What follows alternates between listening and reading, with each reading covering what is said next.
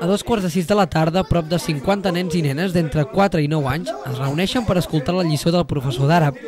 Avui són tots a la mesquita, però la majoria de dies la meitat del grup fa la classe a l'escola Dolors Graners.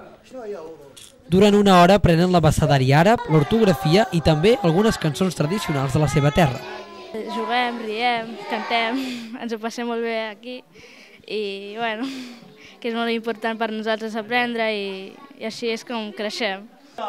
Aquesta és una manera de no perdre l'idioma dels seus pares i de conservar la cultura que els caracteritza.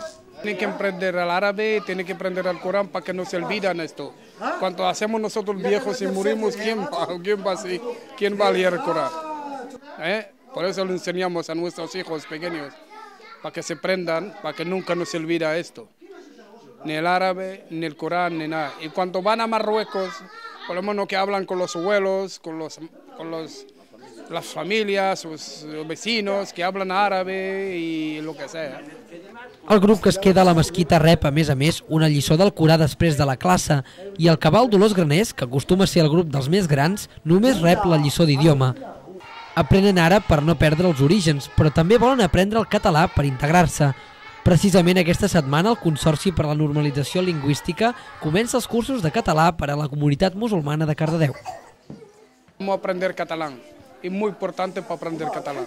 Estamos aquí en Cataluña, tenemos que hablar catalán y me gustaría para unir con los catalanes y me gustaría hablarme catalán siempre, siempre hay que hablarme catalán para que yo, claro, para practicar más el catalán. Si usted hablar conmigo castellano, nunca no aprendo yo catalán.